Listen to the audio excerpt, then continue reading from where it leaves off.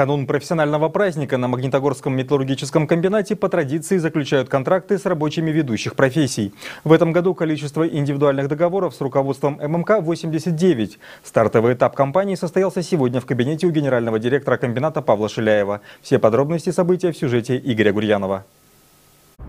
О знаковости подписания индивидуальных контрактов с рабочими ММК, а именно об этом пойдет речь, можно говорить с двух точек зрения. Ну, во-первых, каждому подписанту именно это событие наверняка запомнится на всю жизнь. А во-вторых, именно это событие, как никакое другое, точнее всего, отвечает на вопрос, кто на комбинате главный. Безо всякой иронии, с чувством лишь сопричастности к работе, похожей на подвиг, отвечу сразу. Это рабочий человек, простой trabalhar.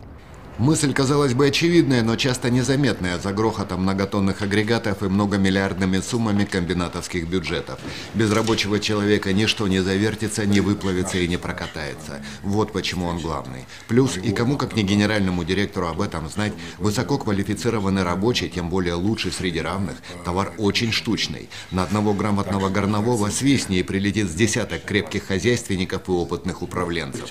Вот почему подготовке, сохранению и предоставлению возможностей для развития рабочего человека на комбинате уделяется столь пристальное внимание. Оно, в числе прочих, отражено в программе стратегического развития ММК, принятой в прошлом году, главным пунктом которой является кратно возросшее внимание к вопросам охраны труда и техники безопасности на производстве. Первое важное, это мы ее назвали там нетерпимость к нетерпимость к несчастным случаям. Да? Она первая, она действительно первая. Я бы хотел в том числе, чтобы она и у вас в сознании была первая. Мы про это много говорим в последнее время, да, и, и в том числе и делаем. Я хотел, чтобы вы тоже были этим проводником, да, проводником вот этого, э, этой нетерпимости. Еще одной отличительной чертой именно этого мероприятия является возможность для рабочих вот так на коротке за одним столом пообщаться с генеральным. Здесь дело не в жесткой субординации, хотя и это тоже, и не в закрытости высшего руководства. Просто прямые, по которым движутся рабочие и генеральные, параллельные, и как в геометрии, идут в одну сторону, но не пересекаются. За редким исключением в виде вот таких встреч, на которых, и это тоже многолетняя традиция, разговор идет на равных в формате открытого диалога, без запретных обсуждению тем. Выгода от такого общения обоюдная. Генерально узнает о настроениях и чаяниях трудового коллектива из первых рук, а коллектив через своих лучших представителей о ближайших и отдаленных перспективах предприятия.